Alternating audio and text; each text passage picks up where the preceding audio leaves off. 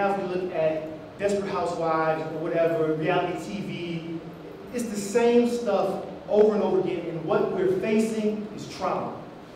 Black community and white community. And what I would say is black folks are experiencing a post-traumatic slave uh, uh, disorder, stress disorder, and I would say that white folks are dealing with a post-oppressor stress disorder. And that's one that we don't talk about hardly at all. What, was, what is the trauma of white people for living in uh, a nation that many times when it comes to rap, to race, is batshit crazy.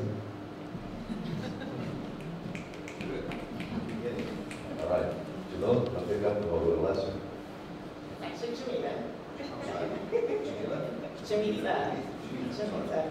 Um, thank you for being here. I want to pick up on the trauma piece. Um, I'm a psychologist, and that's something as black psychologists at their different organizations that talk a lot about trauma. We now know from scientific data, there's been studies that have looked at, if you look at the experiences of people who um, are of the ethnic Jewish background, we know that there are now studies that they're saying that trauma has an effect over generations. Um, we know that, I think, as an artifact, I think of anecdotally, that trauma is in fact very real and it can pass down through generations, but we now have scientific data. And so I want to pick up on that because the emotional trauma of being a person who identifies as black, who has that experience is very real. I want to add into there the other layers, of course, of gender and class and intersectionality, because those are very real when we're talking about, I can't just answer the question about race, because I do present as an African American woman.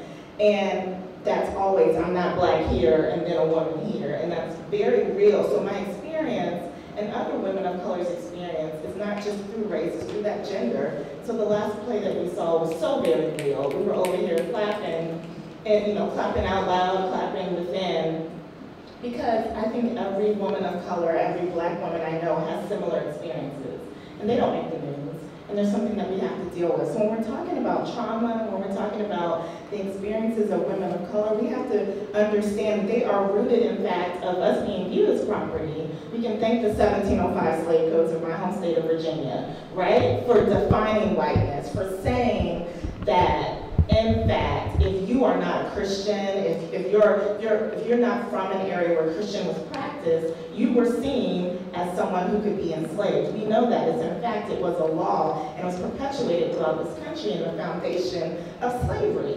And if we understand, if you look at the civil rights movement, what people don't talk about is that a lot of times there were black men standing up for the rape of black women and who were being lynched for it. So when we talk about the history of race and that intersection of gender and class and all the other isms that we can think of, we have to understand that it's rooted in trauma and we have things in black psychology we call emotional, emotional emancipation circles where people need to take time and heal and understand and name it and call it and work together and create change that way. But we have to recognize that we're all dealing with this trauma, and it's not just one group or another. One person's trauma isn't more than, than another's, but that they're all unique in different ways, and the only way we're going to heal as a country is to recognize that trauma, but also recognize who the perpetuators, the, perpetu um, the perpetrators of the actual trauma, and to hold that accountable.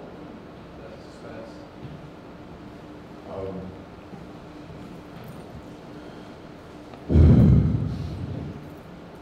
So every, everywhere in the developing world, you've got populations that are labeled as black and populations that are labeled as not black. Black people on the bottom. Everywhere. Doesn't matter what type of economy it has, doesn't matter how the state is run. Everywhere. But here's the thing. If you focus on that in the United States, at every point in time, You've got black people at the bottom of every every social indicator you can you can imagine. But if you track it over time, there's variance.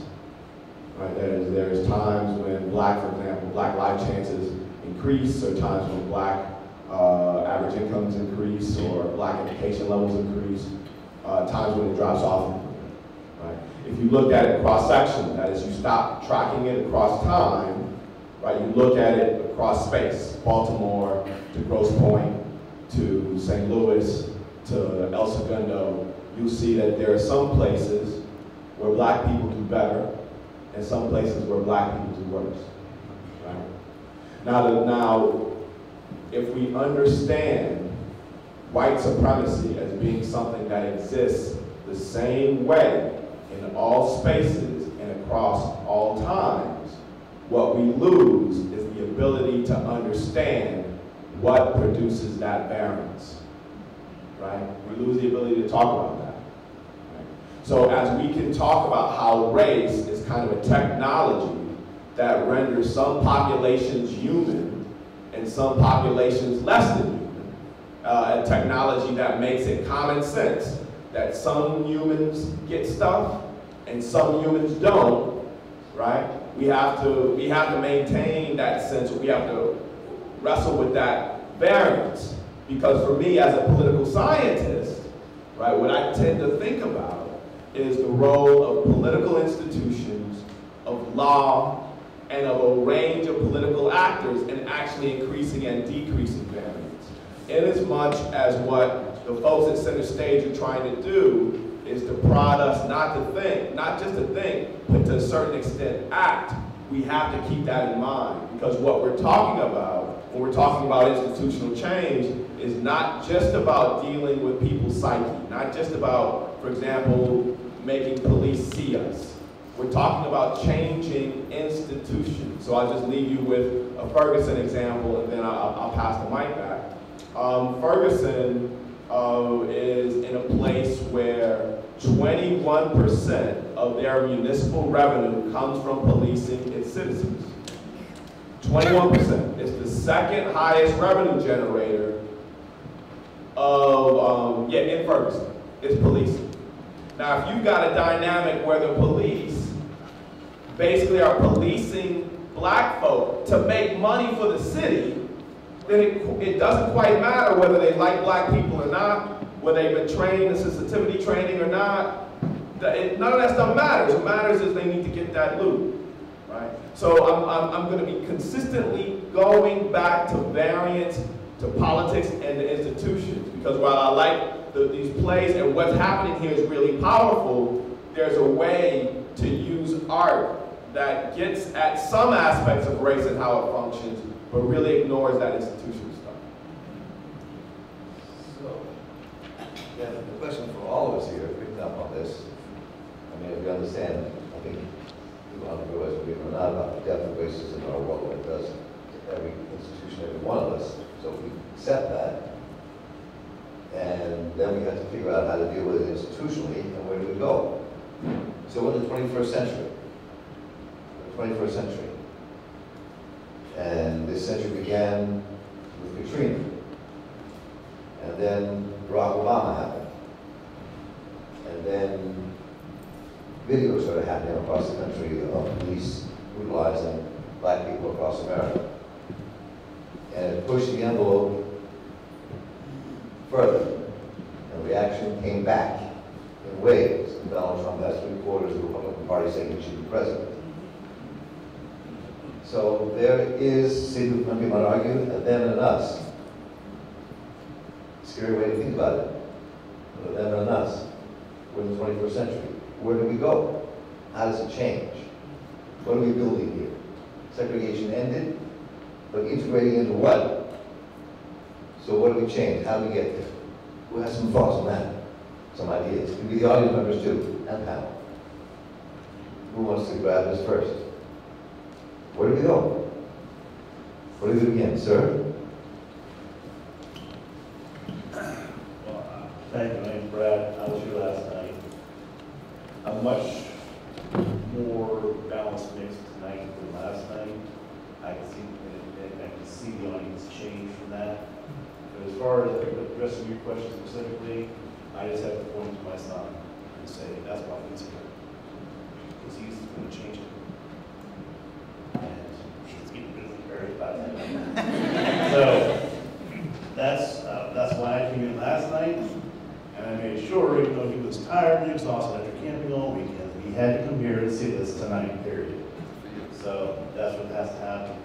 And he, one thing I want to say is he has changed some of the more right-wing friends of his, through his rhetoric of, of, you know, stepping into the day, you know, drop the N-bomb, anything like that, so, doesn't have to happen. I think it behooves everybody who's white in this country to do what he does, which is not let any of that stuff go by. Ever.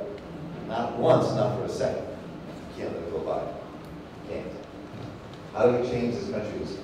Where do we go? I think everyone needs to own their privilege. So I think white people need to own their privilege. I think men need to own their privilege. I think able-bodied people need to own their privilege. I think um, people who are heterosexual need to own their privilege. We need to own our privilege. I think it is problematic to ask someone who's been raped to figure out how to change the world. I think it's problematic to ask people who've been traumatized to figure out how to change the world. And I agree, it's about institutions. Um, as someone in the work that I do with, it's with communities, but it's institutions that play a role, but, and institutions are made of people. And it's that thinking, changing our thinking, but making it into something that we can all come together and agree upon a new system, a new way, and a new approach to doing things. But I think it's, I think fundamentally what I will go back to is that we all need to own our privilege and do something about it. And not to sit back and say, oh, someone else will say that, or someone else will correct them, but to do something about it. I think that's our first step.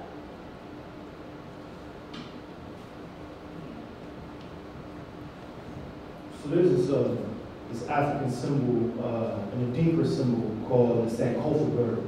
Very familiar with it. Um, in the Akan language, it means the word Sankofa. Is not taboo to go back and fetch what it is that you forgot. And I think that there's some lessons and some questions that need to be asked of the past. We talk about the new civil rights, but what happened, what were the failures of the first movement?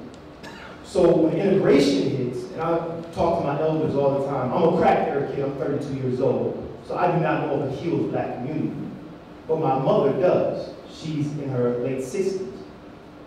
And when I talk to them, they talk about a black community that was um, diverse socioeconomically, where you, a working class person or a poor person or someone on social services, can have a house next to a doctor or next to a teacher.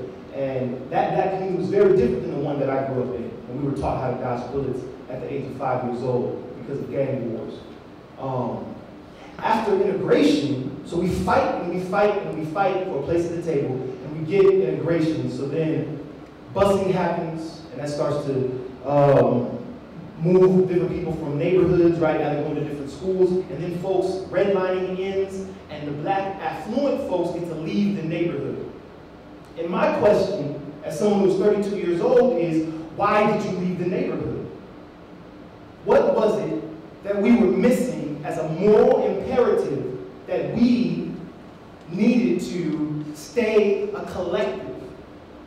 That there was power in our unity and in our community. And what I would say is, is that we weren't asking the right questions. We should, we were wanting the American dream, but we, sh we should have asked, is the American dream actually something to want? Individualism, this materialism, is that something, or maybe what we want is the South African idea of Ubuntu. I am because we are.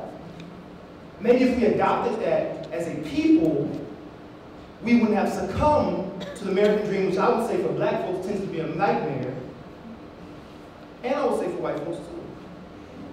So that's one question that I'm asking myself as we move forward, that we need to be fighting. This is something, so I'm, I'm an ordained minister from the book of Nehemiah. The walls of the city of Jerusalem were broken to pieces, and he, Nehemiah, commanded um, everyone to build and fight. We must build institutions. I was really upset when I saw what happened at um, Missouri with the school, and I was also excited because I was so happy to see student movement. And, you know, but I'll tell you something. I really, being someone who went to Tuskegee University, I was like, I wish they just went to a black college because our black colleges are dying. So we'll fight for, we'll fight to sit at tables and not build our own table. And a lot of the other racial, ethnic, cultural groups in America build their own tables, and they end up way better than us. Carter G. Woodson said something I thought that was very, very uh, powerful about 100 years ago. He said that black people are taught through the education system to learn about British authors and Latin and Hebrews and all this other stuff. And people from foreigners, is language foreigners, they come to America, and while we're studying Europeans, they're studying us. And they know exactly what to sell to us in our communities. They know exactly what to do. We saw that in the play with Mr. Chen, right? There's a lot of tension between, and I know he, they said he was, uh, what was it, Cambodian, right? But we know in, our, in my community, I live in West Baltimore, they're Korean, right? There's a ton of tension. But one of the issues is, is not that the Koreans are building our community, but is that we have swallowed this black inferiority complex where we don't even want to build in our communities. We don't want to spend money at black businesses. We don't, and so to me, for black folks, we need to, to ask some serious questions about ourselves because this has been going on for 500, 600 years. I don't know if racial injustice structurally or systemically or in the institutions of America will ever change. I don't know. But I do know that we can rise as a people.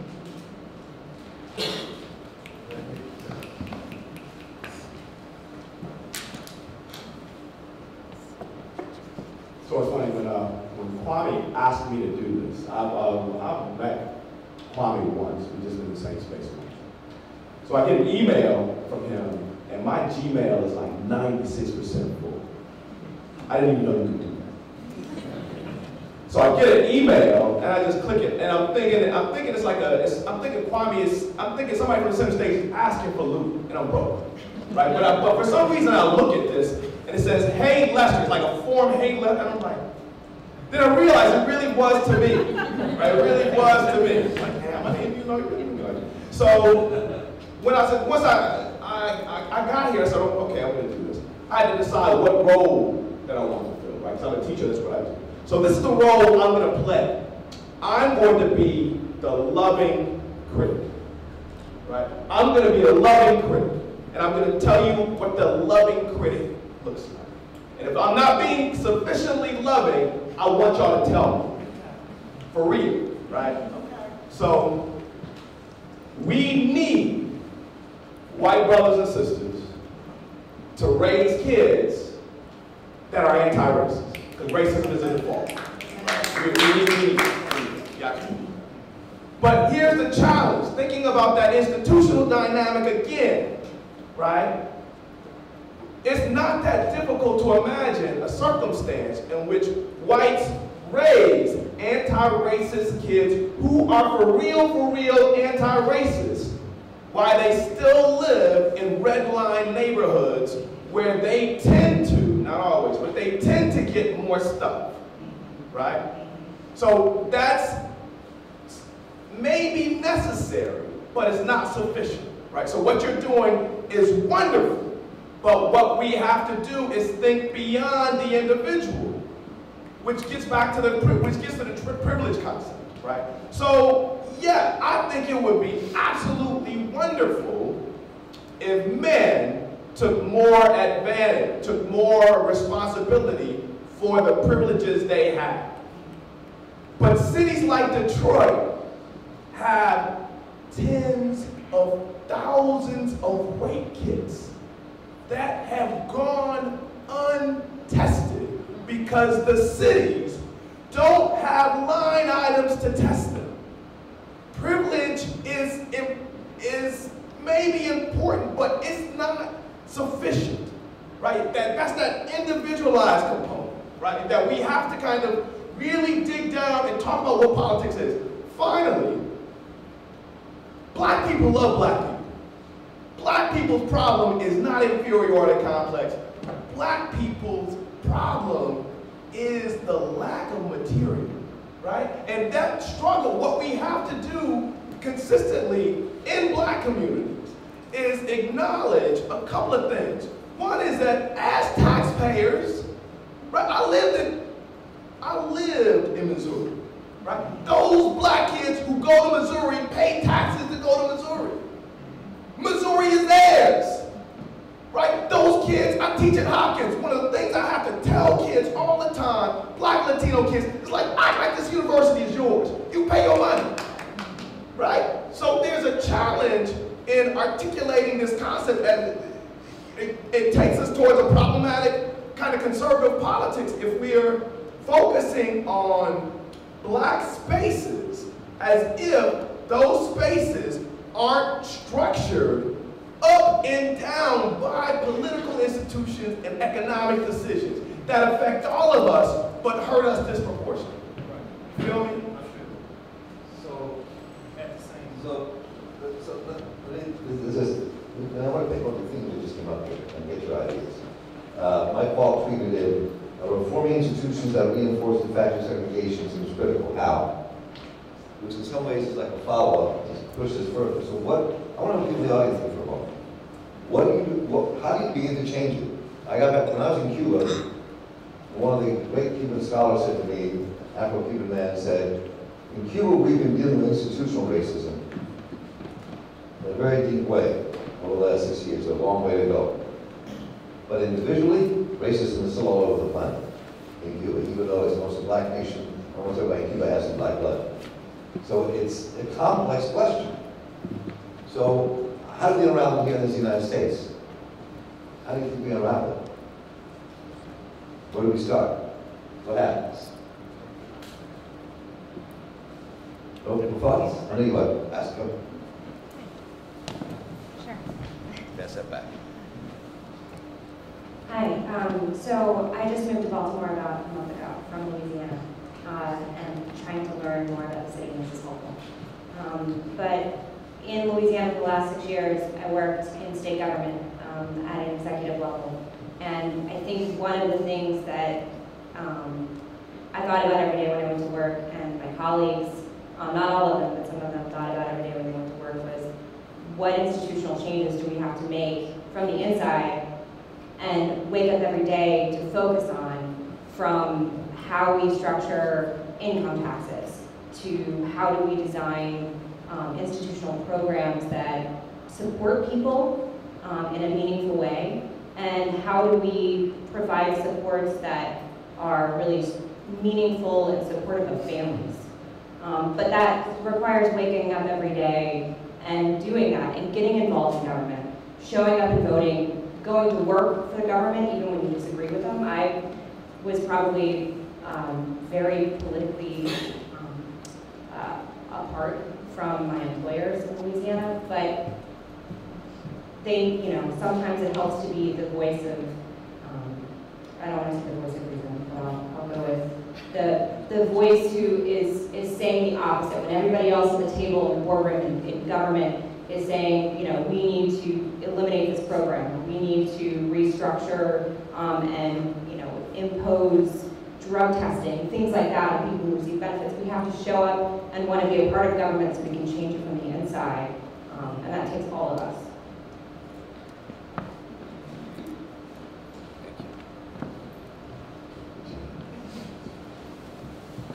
I, I agree with the speaker um, and what you said. I'm an ex-federal employee. I've worked at different layers in government and nonprofits, et cetera.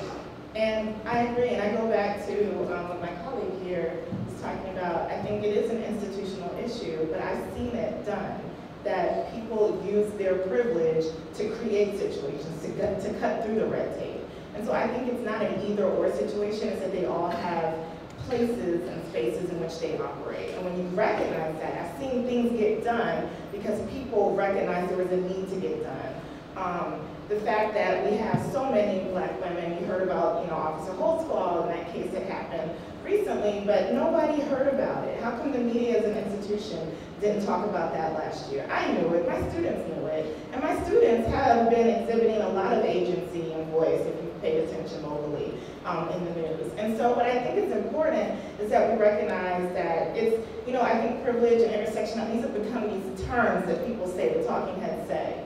Um, but I think when people understand that when you're dealing with these issues in writing policy and creating programs at each level in government, that it fundamentally comes down to who is the decision maker and what are the reasons for them making one decision or another. And that's what we need to do, is to have a critical mass of people who understand how to create change that way and how to exert um, some type of agency for themselves and, and exhibiting that voice and putting that to use.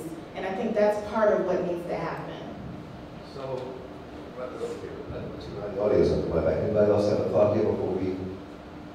So, uh, let so, so, I'm thinking what you just said, and you think about in this country, some of the polls and studies have said that there are about thirty percent of white people in America who think that racism is a problem, and it's a big problem around, about thirty, right? That's the whole, twenty-five, thirty percent.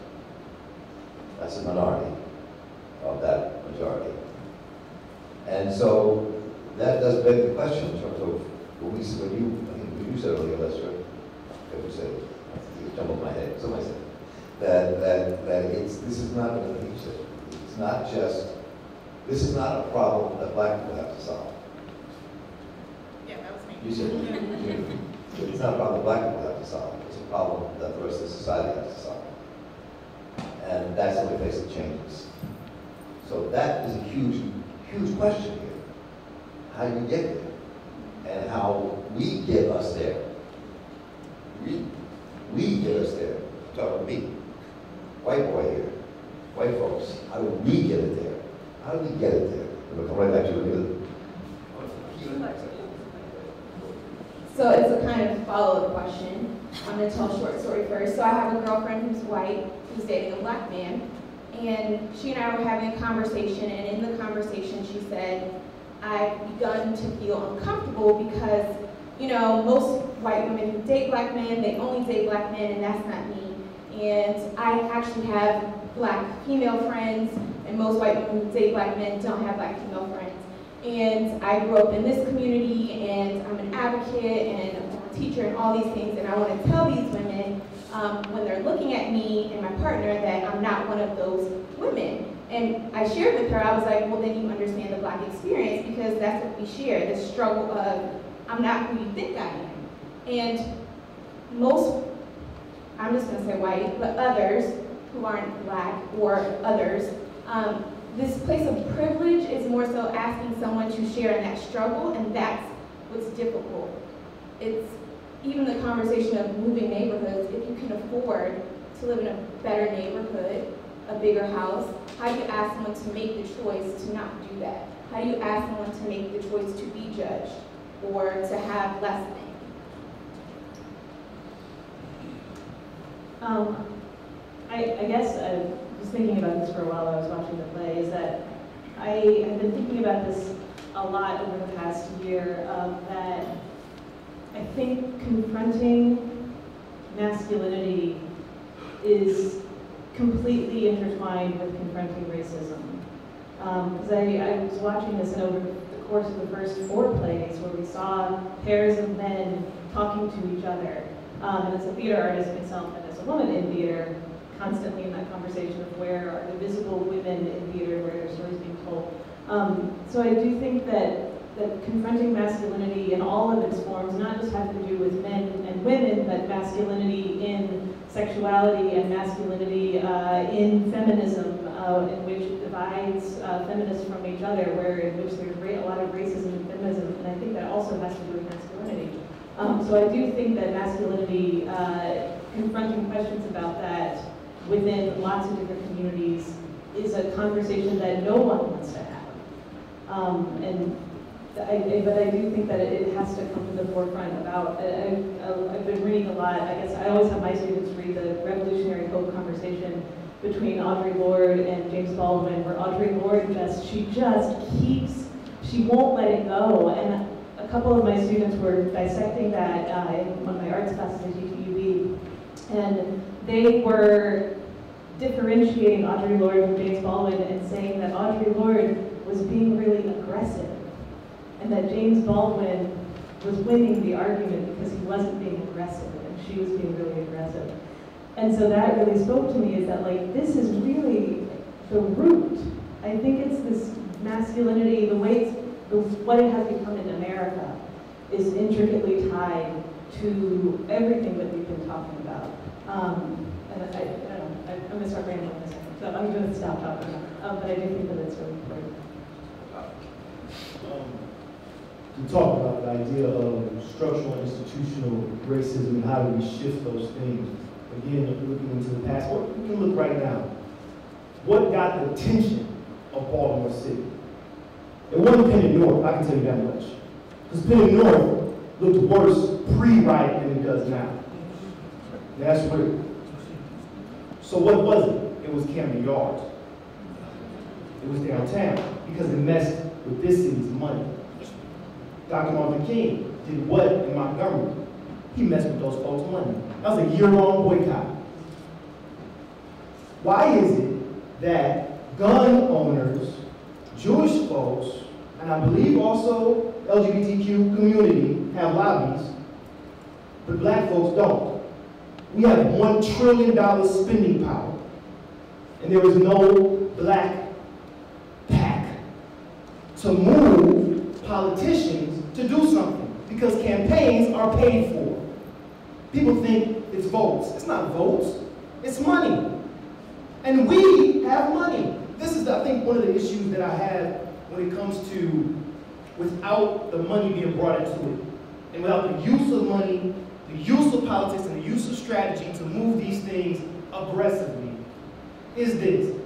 If I don't talk about money and how we can collectively, I'm just talking about black folks, when I say black folks' money, with super PAC, I mean, you need white folks' money, right, to be, to put with black folks' money to actually make that thing strong. But here's the thing. If we don't talk about that, then I'm talking about the altruistic nature of white folks. Their benevolence.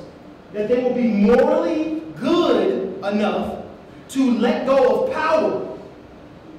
And when you're in a system that's made, even when we come to men, why do men want to give up power? Because we have power.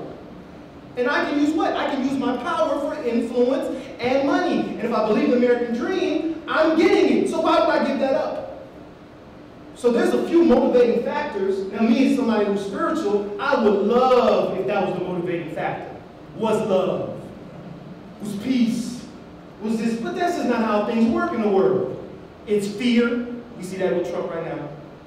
This, this xenophobia. No, you fear motivates, right? And money motivates.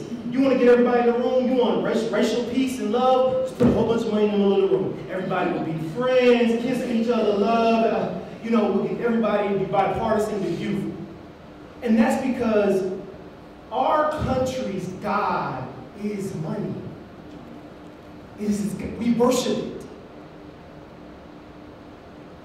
When you start to deal with the God, the idol, when you start to speak to it, the people will shift. And I feel like if there was a black PAC, which can be created, to talk and to campaign for black issues, what Democratic nominee right now is running on it?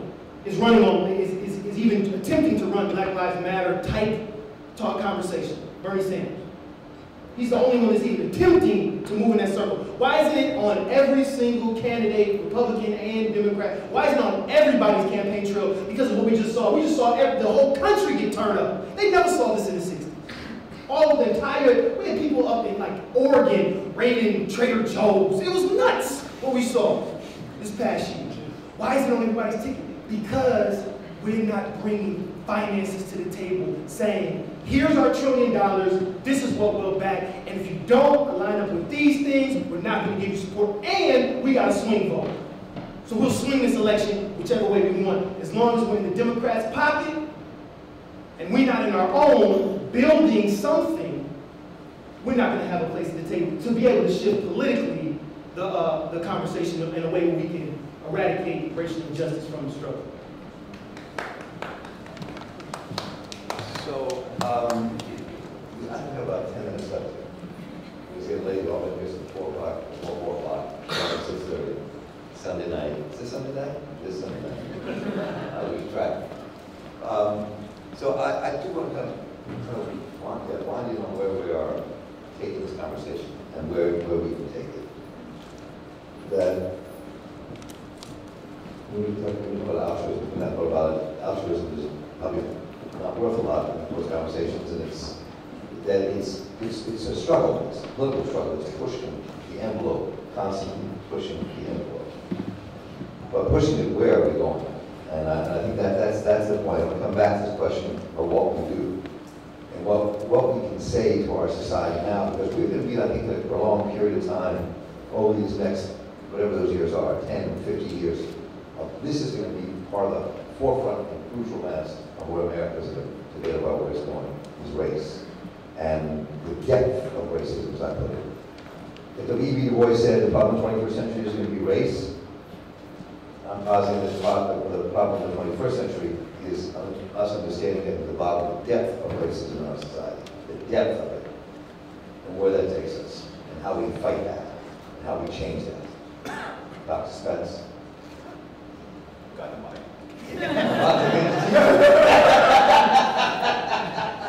Trying to say? I'm not gonna say anything. Um, so one of the blessings of, of living in a city like Baltimore is I think it's small enough to matter, but it's kind of big enough to win. Um, a second blessing about living in, uh, living in Baltimore is that to a certain extent, because it's a predominantly, it's a predominantly black city, that we, that, that idea of being the minority, we don't really have to wrestle with when we think about Baltimore. And that allows us to have certain conversations, right? And in fact, it's interesting because if you think about it, one of, the, one of the good things about that for whites is whites can actually learn to live in a city where they're not the majority. And that actually can have certain types of effects.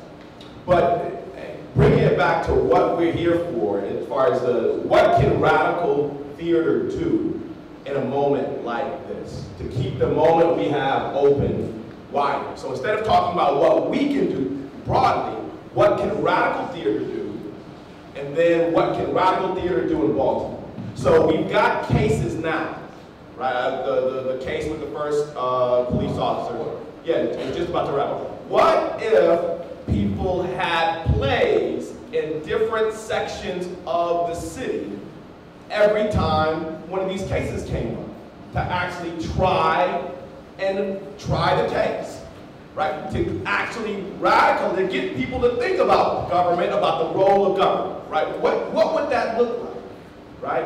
What would it look like if we created a space where black people, because black interests are different, like black, black people have different interests from one another.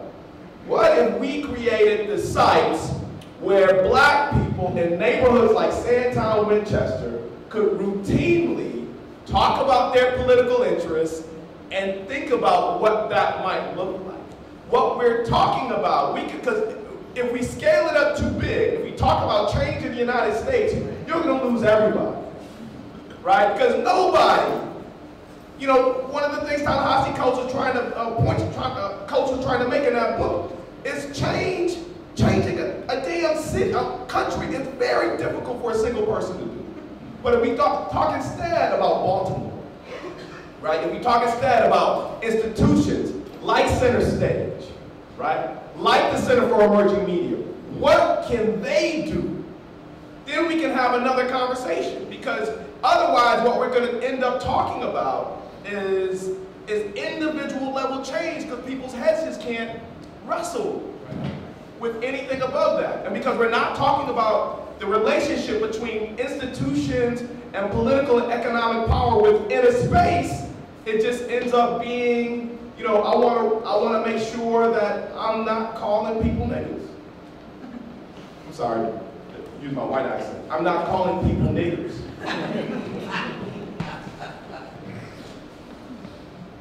And so I think it's time now. I mean, I ask Jamila if you would take us home with this. All right? Um, I agree with my colleague here. I also want to add, um, you know, we have a, there's a history of art within every social movement. If you look um, in the early 1900s and the civil rights movement, I mean, even in other places in the world, there is a history of art creating social change. And I'm personally passionate about that. So one, just kudos to Center Stage for doing this because Yes. this was an amazing experience. And as someone who was an English major in college, I loved the narrative.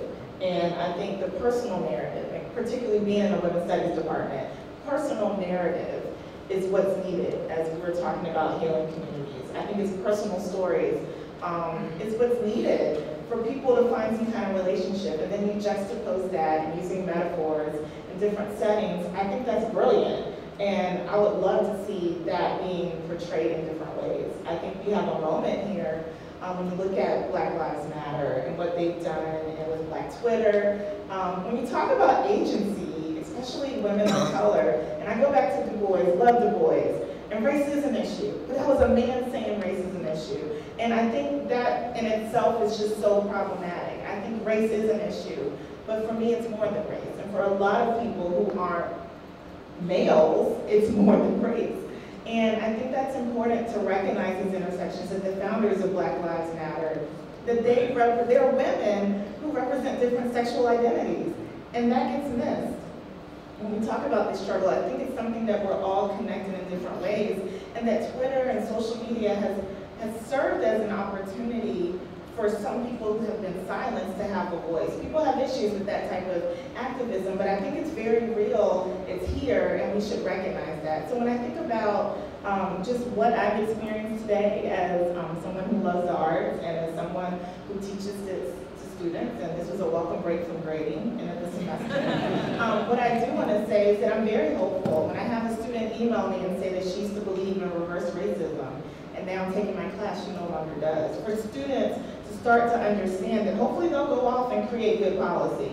Um, and that maybe in 100 years we will have dismantled some of these structured pieces, but that we have a lot of people working together um, individually and collectively to create institutional as well as relational change. So, thank you.